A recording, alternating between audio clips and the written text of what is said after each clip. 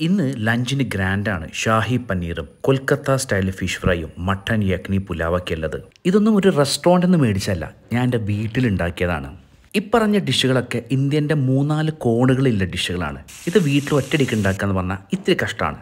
അവിടെയാണ് എനിക്ക് ഈ ആളുടെ ഹെൽപ്പ് കിട്ടിയത്. ക്യുക്ക് എയ്റ്റിലെ ഈ ബ്രാൻഡ് ഇൻസ്റ്റന്റ് ആയിട്ടുള്ള റെസിപ്പി പോട്ട് മിക്സ് തരിക. ജസ്റ്റ് വെള്ളത്തിൽ തിളപ്പിച്ച് അതിലേക്ക് ഏതെങ്കിലും ഒരു പ്രോട്ടീനോ വെജിറ്റബിൾ ഇട്ട് കഴിഞ്ഞാൽ ആ കറിയായി. ഇതിപ്പോൾ പനീർ മക്കൻ വാലയാണ്. ഇനി അത് കറി തന്നെ ആവണമെന്നില്ല ഗ്രില്ലിനും ഫ്രൈനൊക്കെ നമുക്ക് ഉപയോഗിക്കാം. ഫോർ എക്സാമ്പിൾ ഞാനിവിടെ കൊൽക്കത്ത മസാല എടുത്ത് ചൂടുവെള്ളത്തിൽ ജസ്റ്റ് മിക്സ് ചെയ്ത് മീനിന്റെ മുകളിൽ പരട്ടി ഫ്രൈ ചെയ്തപ്പം അത് കൊൽക്കത്ത സ്റ്റൈൽ ഫിഷ് ഫ്രൈ ആയി.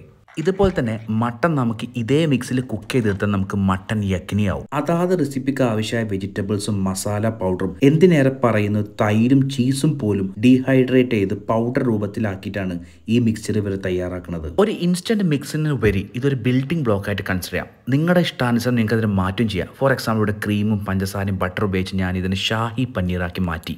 എന്തിനേറെ പറയുന്നു? കുറച്ചുകൂടി മസാല ഇട്ട് അതിലെ കുറച്ച് ചൂടുവെള്ളം ഒഴിച്ച് അതിൽ റൈസ് കുക്ക് ചെയ്ത് ഞാൻ മട്ടൺ യക്നിനെ യക്നി പുലാവാക്കി മാറ്റുകയാണ്. U S food and drug അഡ്മിനിസ്ട്രേഷന്റെ അപ്രൂവലോട് കൂടിയിട്ട് യു എസിൽ വാൾമാർട്ടിൽ വിറ്റ് തുടങ്ങിയ സംഭവം ഇപ്പോൾ എറണാകുളത്ത് പല റീറ്റെയിൽ ഷോപ്പുകൾ അവൈലബിൾ ആണ്. പാൻ ഇന്ത്യ ലെവലിൽ ആമസോൺ ഫ്ലിപ്കാർട്ടിലും ഈ സാധനം അവൈലബിൾ ആണ്.